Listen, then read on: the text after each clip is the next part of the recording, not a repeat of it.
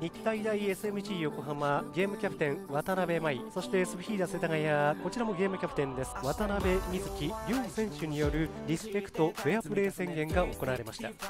柏原倒れました。渡辺うららが回収をして金子との激しい競り合いここからシュートを放っていきました。三本さやかです。戸田がコースそれをかわした富岡股を抜いた。さあ高原。切り返して。マイナスのクロスもう一つだ。渡辺。さあここはチャンスになる右足。長崎でしたが服部桃から好セーブ。うまく体を入れたディフェンス富岡ダイレクトにクロス。飛び込んできてシュートになりました。最後金子でした。いいスペースにボールが出ました。大竹からグラウンダー堀江のシュート。よく守りました服部桃香同じようにあーっとそのまま決めたコーナーキックから1点先制。前半の42分。スフィーダ世田谷がこのアウェーで勝利しました勝ち点3上積み。赤いユニフォームが朝日インテックラブリッジ名古屋白いユニフォームがオルカ鴨川 FC ということになります。朝浦島がボールを取る。中に斉藤がいる。斉藤と金重さあここは浦島がかわそうというところ。立花をかわした。後ろから並木だ。そろそろ帰ってシュートだ。これもなんとか防ぐ。ヘッドこれもかわしていった。コーナーです。さあ右に斉藤ですがその斉藤にやっつける。斉藤がクロスを上げて金重ヘディング。決まった金重のヘディングで先制オルカ鴨川0対1高島が前を向く。さあかわしていって。シュートまでいった！山田ニーナ山田が縦を選択した！さあここは抜け出していく！折り返してシュートは！わずかに枠の外ですがこれはコーナーキック。さあ上田に渡ってうまく出していったがこぼれている！上田!決まった!入った直後上田桃浦島蹴る！ゴール前！こぼれてオフサイドない。これこぼれてシュートだキラー。キラチナツアウェーのオルカ鴨川 FC 最下位の一戦を見事勝利で飾って勝ち点3を取りました。画面左桜色のユニフォームがホームのセレッソ大阪堺レディース。画面右緑のユニフォームが伊賀 FC 久野一美恵両チームの選手たちです。WE リーグ長野パルセイロで12試合プレーして7月に新加入した藤田理子です。ゴール前にボールが入ってくる。落としてゴールに向かってくるシュート。決まった試合いきなり動きました!前側へボールが渡った。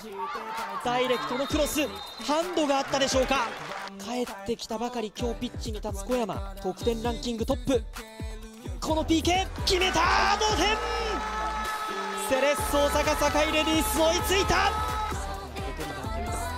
もう一度佐久間スペースへ米田がスライディング。ここは流し込んだ！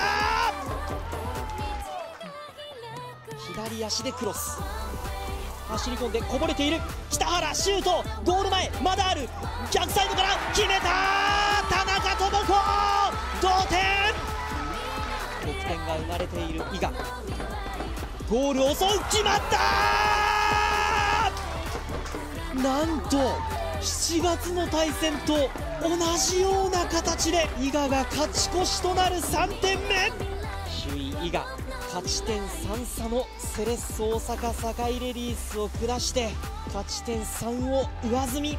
両チームの勝ち点差はこれで6と開きました。日発横浜 FC シーガルスと愛媛 FC レディースの一戦をお伝えいたします。渡辺に落としてさあ裏をついている吉田だ。左足。右に内田。左に宮下が上がっているが宮下を使う。宮下。クロスだ。打てるか？打てない。渡辺だ。渡辺。ならここは巻いてくる。ファーサイド。横山が対応。肩中へ入れてくる。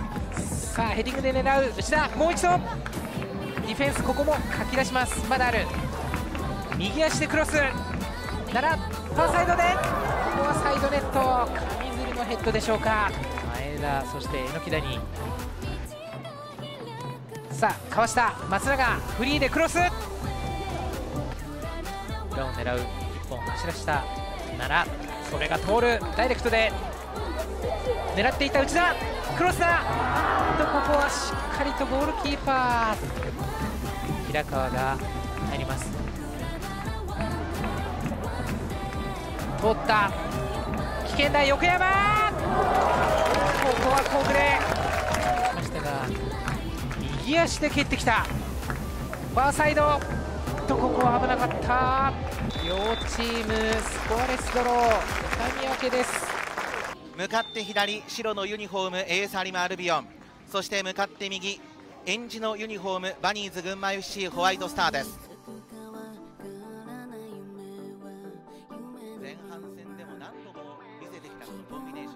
ョンさあふわっと上げてきた中2人桂馬どうか決まった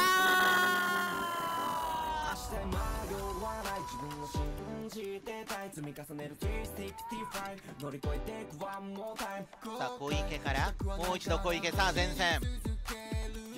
桂馬ワンタッチ千葉に通るかどうか決まった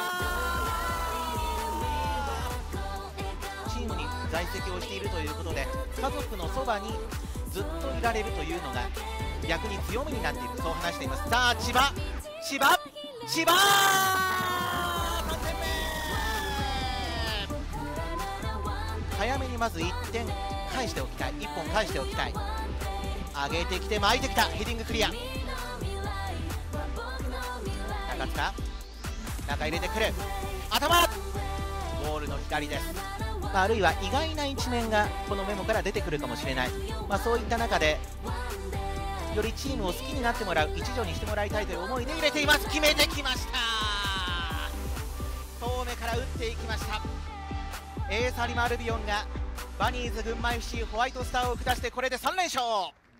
グレーのユニフォーム。アンジュビオレ広島。そしておなじみのブルーのユニフォームスペランサ大阪です。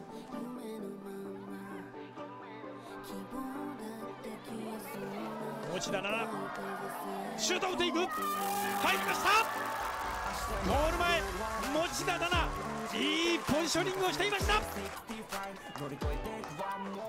野からボールをつないでいく。アンジュシュートを打っていく。ゴール前ポップレイシュートが。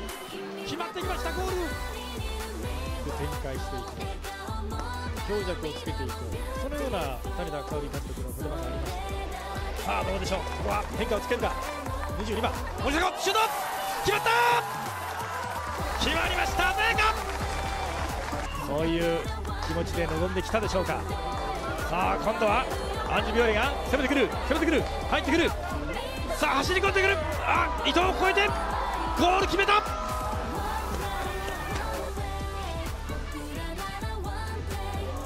右へ浅いでシュートヘッド決まった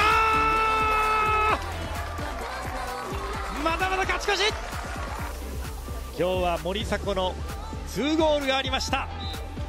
スペランツァ大阪の勝利です。